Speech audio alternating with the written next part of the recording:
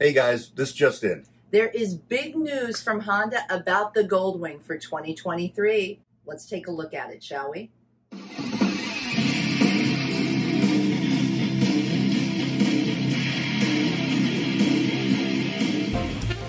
You know, there's this old phrase that goes, there's nothing new under the sun. Well, today, September 22nd, 2022, Honda put out a press release regarding the Goldwing Tour, the Goldwing Tour DCT, the Goldwing Tour Airbag DCT, and the Goldwing DCT. Well, you know, Renee, I got to say that looking at the press release, looking at these images and such, everything looks exactly the same. Yeah, I mean, we'll get into the website here in a minute, but uh, you know what? You're right with that call. It's just like it seems like the only thing that seems majorly different are the colors, but the colors aren't that different.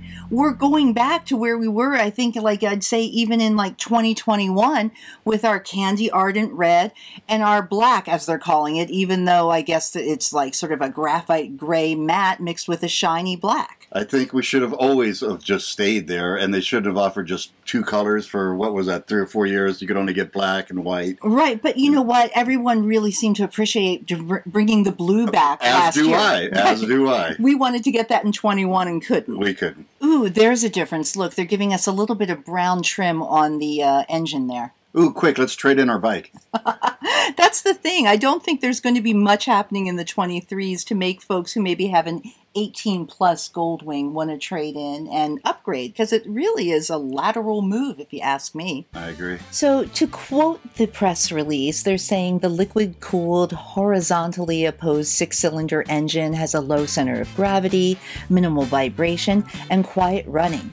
It's available in a six speed manual transmission or with the highly advanced seven speed automatic dual clutch transmission.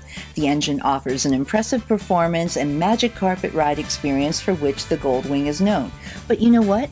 You're already preaching to the Goldwing choir we know all of this. So there doesn't seem to be anything new under the sun here, but they are highlighting fuel efficiency where they say that they've got 22% more fuel efficiency than the previous generation. I mean, some of the specs that I'm seeing here are quoting up to 42 miles per gallon. Now, of course, this your mileage may vary, right?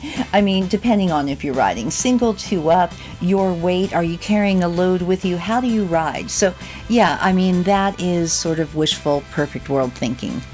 And we don't mean to dissuade any new potential riders from a 2023 Goldwing. I mean, they are awesome. Goldwings are awesome. And just like their website touts, right? The gold standard of touring bikes. They really, really are. That's why we ended up getting one as well. But Hey guys, leave a comment if you're expecting a little more, uh, more changes, more goodies, things like that. Another speculative thing was the idea of bringing aboard the radar adaptive cruise control by 2023, but that is certainly not happening by 23. Can we look forward to it in 24 or 25? I mean, we've talked about it before in other videos. We've seen this with other blogs, other vloggers. So we've seen the patent drawings, but we haven't seen it out in the line yet. So the press release went on to talk about, you know, um, uh, having the four ride modes that we're familiar with Econ and Tour and Rain and that super fast sport mode. You know, they talked a bit about um, having the Honda Selectable Torque Control, the HSTC system, to manage rear wheel slippage. Um, you know, the, uh, the old favorites are still here the Hill Assist, the walking mode. You know, we've got keyless, you know, um, fobs. There are uh, tire pressure monitoring systems that give you real time status of your tire pressure. So, you know, all four trim models have that as well. So, again, is this a case of something old being new again? Or is this the case of something old being, well, old again.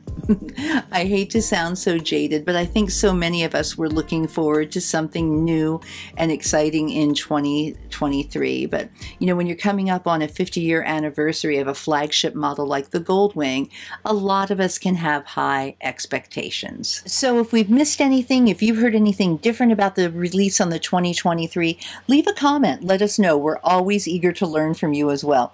Okay, well, we'll catch you next time and look forward to that 2023 2023 coming out. Bye bye.